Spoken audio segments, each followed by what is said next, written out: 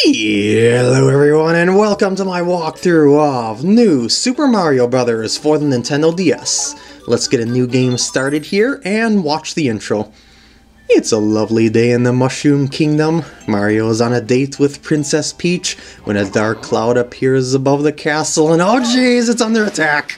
Mario, go save everyone like you usually do. No, wait, wait, come back! It's actually a distraction. Princess Peach is gonna be kidnapped. Oh, too late. Ah, Mario is so easily tricked. As evidenced by something bad that happened off screen, he took a hit, he shrunk back down to regular Mario, which he will then die in one hit if I should take a hit in the first stage. And that's pretty much the story in a nutshell. Were you expecting something else? I sure hope not. anyway, let's start 1-1 and I'll go over the basics of the game here. Move with the D-pad, jump with the B button, and hold the Y button to run, and you, yeah, that's pretty much it. really basic, really intuitive, anyone can get into stuff and commit violence against Goombas like I just did there. That mushroom that I collected was a super mushroom, and it increased my size back to where it was in the intro of the game, so now I can take a hit, but it also makes it harder for me to fit into stuff. Uh, this also grants me other properties, which I'll demonstrate a little bit later, but for now I'm just going to leave it as is.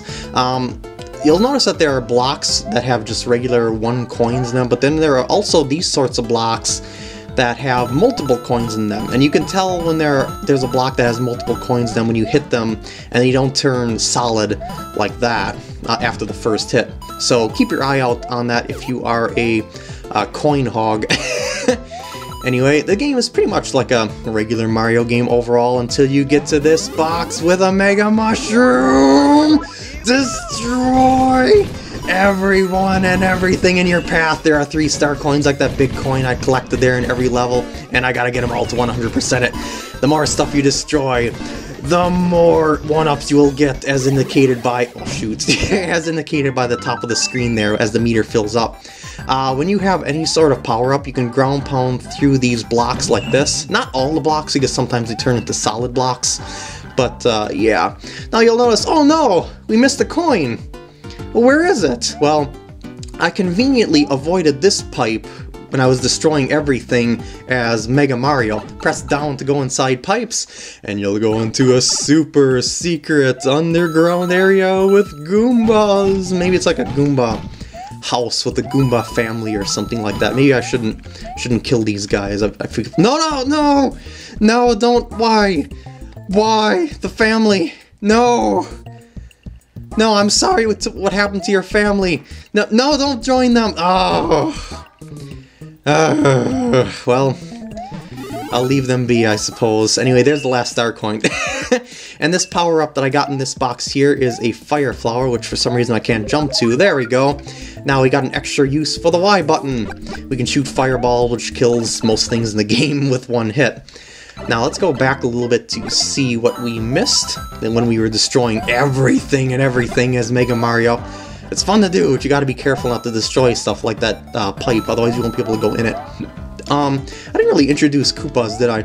Yeah, these turtle guys, they're Koopas. Depending on their color, will change their behavior. Like green ones will fall off of edges um, when they reach them, but red ones will not. Like, see that one? It turns around when it hits an edge, but a green one would not. And you can even make bridges for it like that whenever there is invisible blocks, and they'll cross it happily. Uh, whenever, whenever you knock a Koopa for a loop, they'll go inside their shell and you can kick it around. And this will kill other enemies in its path, like that. You could also pick it up with the Y button by holding the Y button and then releasing the Y button. It's a hold and release thing, like, you know, hold, closing your hand to grab something and, you know, opening it. It's very intuitive. I don't know why I spent so much time explaining grabbing, but yeah. Anyway, let's move on here. That's pretty much all there is to the game's basics. Uh, other than the end of the stage, which is a... I jumped a little late there. which is a flagpole. And the higher you get on the flagpole, the better your reward will be. If you get all the way up to the top, you will get a 1-up, like that! Yeah! And since I collected all three star coins, there are three in every level, that means World 1-1 is now complete. Woo! Now let's go over to 1-2 right away. And they'll start you off immediately with a ground pound, which is, I think, the game's way to, demonstrate to you how a ground pound works. Like, they're supposed to figure out from here, yeah, you press down in midair to do a ground pound. Yeah, that's how I guess they taught you that, and yeah. Anyway, let's grab some coins by ground pounding, and I'll be, probably be fiddling with the Xbox D-pad the whole time, because it's sometimes finicky when I play side-scrollers like that, and I have and I have to do certain motions. Anyway, whenever you see blocks that you can keep ground pounding through, you can keep holding down, and you can keep breaking through them with ease to find secrets loaded with coins. Whenever you get 100 coins, like I just did there, you'll get a 1-up. But this game gives you so, so many lives that I don't really think you're gonna have to be a money grubber to survive away from the game over screen. anyway, I'm still looking for secrets and coins and Goombas, oh my, and okay, I'm, I'm not gonna do that.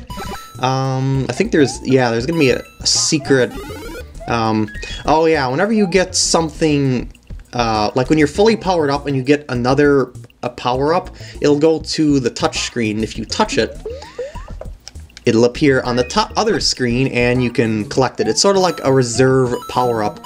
Anyway, there is, uh, yeah, there's a one-up in that box right there. There's all sorts of secrets in Mario games like that. I don't know them all, but I'm to go over the ones that I do know, and the one-up will poop out right over there. Unless you break blocks behind it and, you know, chase it down or something like that. um, this, this coin right here is kind of interesting, because you know how they taught you how to do ground pounds? Yeah, you can do it like that, but look at this, it looks they oh shoot they, what they do is they have these blocks off to the side to sort of tell you hey you can't ground pound through everything so yeah um that's a pretty neat way to teach you that Oh, and also notice that the enemies dance to the music. Gotta look out for that, otherwise it could mess up your timing. Um, you can also collect star coins by throwing Koopa shells and stuff at them but I, I didn't wasn't able to really demonstrate it there because I just demolished it with a ground pound. But yeah, uh, keep that in mind for other stuff later on. I probably probably shouldn't have hit that lower block first. I'll oh, screw it. Probably not important. I can't reach the top one easily now. Uh, maybe I should be checking some pipes for secrets. Ooh, secrets! Look at this. And also, if you throw shells at coins, you can collect them as well. Isn't that nice? I don't know if there's anything else hidden here. Probably, because it's a spot that you can dig into via shell, via a shell like that. And yeah, let's just see what that shell does down there. I'm just gonna destroy stuff around here for kicks. Oh no! I kind of slipped off the edge. By the way, be careful not to shoot a fireball with the Y button while shells are going around, because it'll destroy the fire. I mean, it'll destroy the um, shell. By the way, if you ever are in a situation where you can hit a, a block that has multiple coins in it fast enough, um, you can keep hitting it and you'll be able to get a mushroom out of it. Pretty nice uh, little trick to find. Anyway, I'm spending a lot of time in this little area, so let's get out of here now and uh, see if there's anything we missed. I think that was the pipe I went in, so let's move on here. Uh, anything? Another fire flower. I guess I can grab that for kicks. Those are piranha plants, by the way. They pop in and out of plants, uh, except when you're right next to them.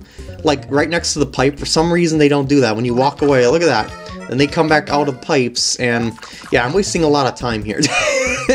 Just doing a lot of explanations and stuff and stuff and stuff. So yeah, let's let's race to the end here. By the way, you might notice that there's a little ledge above here. Ignore that for now.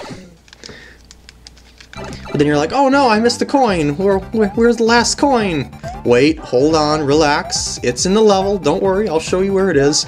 Now, let's, these, the edges of these stairs are kind of finicky because you stop if you hit the corner, and I need to get a running start in order to get to the top of the flagpole, which I didn't quite do. I got the second best prize, which is 8,000 points. But anyway, we gotta go back inside that stage because there's something else for us to find in it. Oh, yes. So I'm just gonna race through the stage as quickly as I possibly can now. Um, I'm not gonna cut forward or anything like this because it's gonna go really fast, and I like to show that I'm not cheating or anything like that since I'm playing on an emulator. So yeah, it's, it's not a difficult stage or anything like that, it's just something, you know, just to show... Uh, I can actually demonstrate this now. Uh, it's something to prove things is what I'm saying. Yeah, like watch this. See? It will collect coins just like that. So using shells, very handy in that way. And oh, I was reckless. I was so reckless. Well, I know this contains a power-up. Yeah! Look how much faster things go when I'm not explaining things. We're almost to the teeter-totter with that um, hidden upper ground area, I guess you could say, and here we are. Oh, didn't quite make it. I need to get this as high as I possibly can. Ah, poopers. there we go! I'm above the world! I think this is a reference to the original uh, Mario Brothers on the NES, because there was a similar secret like this in, uh, in that game, only it led to a warp zone. Anyway, this level actually has two exits, and one is a secret, one is not. You can tell which is a secret exit if it has a red flag. So that was the secret exit. Um, when you get certain numbers at the end of the clock, you get that many fireworks. I believe the numbers are like 1, 3, 6, and 9 or something like that. I always forget the numbers. But it's the last digit of the timer at the upper right corner of the screen. Um, that'll whenever you get fireworks like that, uh, you'll get points and it'll unlock uh, Mushroom House or something here over at the start square of the area. But uh, I, mm, I'd, I'd, like to save those for later because I want a specific power-up from one of them for that upcoming tower. So I'm going to skip over them for now and just go over to 1-3 here, if you don't mind. Okay, okay. Whenever you see a uh, angel block that's red above the map, and it lands on the space that you're going into, well, you can actually go into a space that has it, it'll give you a random power-up. In this case, it's a fire flower. Uh, there are all sorts of power-ups in this game, and I'll go over them as I go. But what I'm looking for in specific is a blue shell power-up, because I'm going to need it for a secret exit in the tower. Uh, anyway, jumping off of these spinny, spinny platforms will make you spin super high in the air and glide down. You can also bounce off of uh, the pink mushrooms with super flowiness to collect stuff as well like that. Follow the coins, follow your nose, and you will find more treasure along the way, like a second star coin. I'm kind of happy that I don't have the shell power-up now because it's really, really hard to control. Well, I shouldn't say it's hard to control, it's it's an expert power-up. and I'm not that skilled at the game to the point that I have the levels memorized and I'll be able to glide through a level with the shell. So I'm not very comfortable with the shell, but I do need to use the shell to get into certain spots. Anyway, there is the last star coin um, above the dancing mushrooms. Uh, anytime you see a red ring, you can go through it, and you'll start a 8-coin minigame of sorts, and if you get all the red coins before the minigame ends, you'll be able to get something out of it. What that something is, is determined by what you have uh, at the time. Like, since I have everything, like, powered up, I got a 1-up out of that, but if I don't, I'll get some sort of power-up from it. Anyway, 1-3, now completed. Now, I wonder if I should do the secret exit first, or if I should do the regular exit. Probably the regular exit. So I'm just going to go straight to the tower and not to the uh, mushroom house down at the bottom of the, of the pathway. Uh, we got this is the moving block castle, where moving blocks can hide stuff. That's a dry bones. If you hit it, it crumbles. It looks like you defeat it. I mean, you defeated it, but no, it revives itself, and yeah. there are ways to kill it, but uh, they aren't in my possession right now. Ooh, hello there. Uh, don't get squished. Squishing is a one-hit kill. So this uh, tower might be more dangerous than anything up to this point so far, especially if you aren't adept in trying to get into spots. So yeah, just push yourself against the wall and you shouldn't have any issues getting yourself into those spots without worrying about uh, getting squished. Here, however, hold right and the run button, go, go, go, go. Hold left and run button, go, go, go, go, go, go. Okay. and another... Oh, that sucked. Think there's a power-up in here anyway, though. Yep. Yep. moving platform.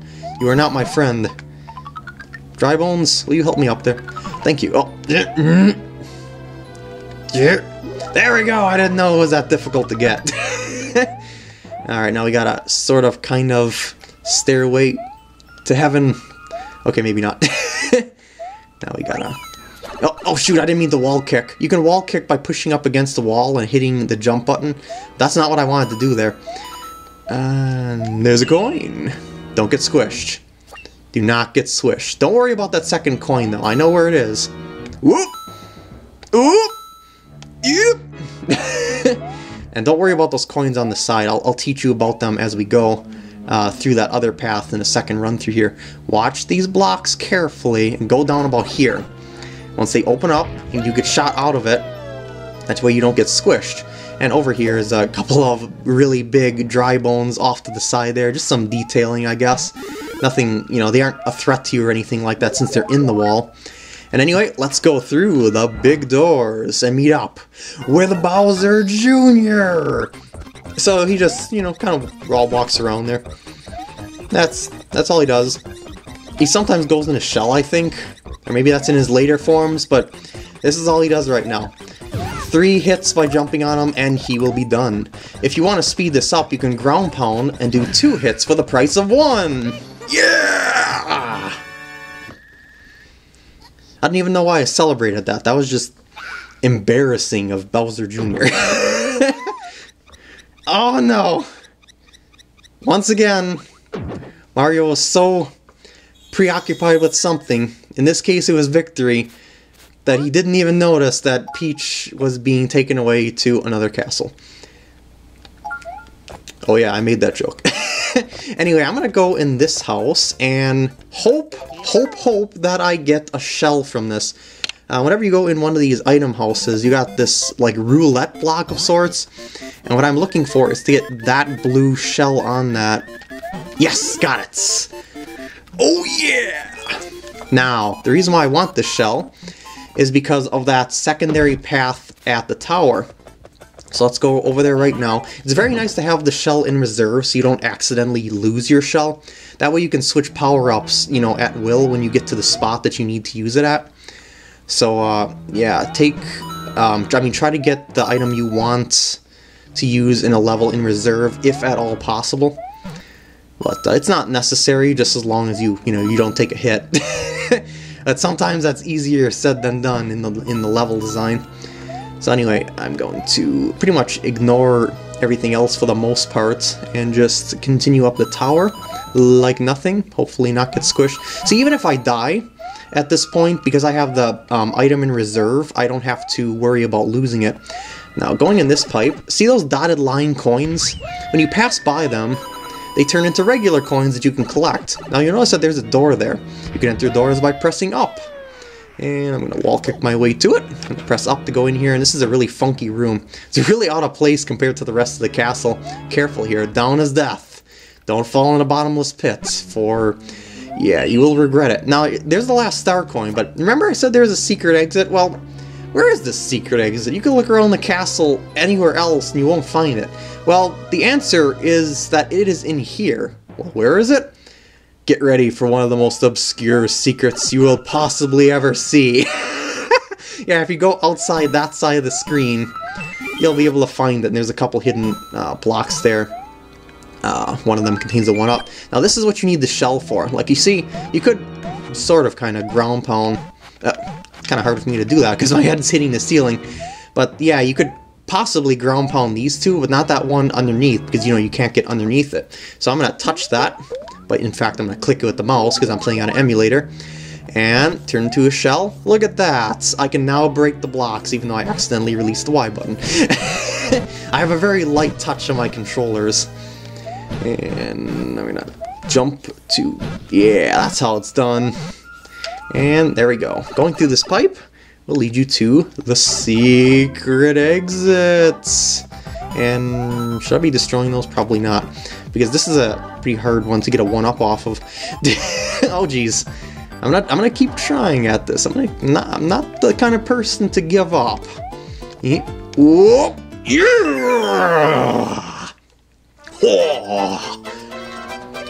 Mario clear! And there we go. Now this is going to open up a path to a cannon.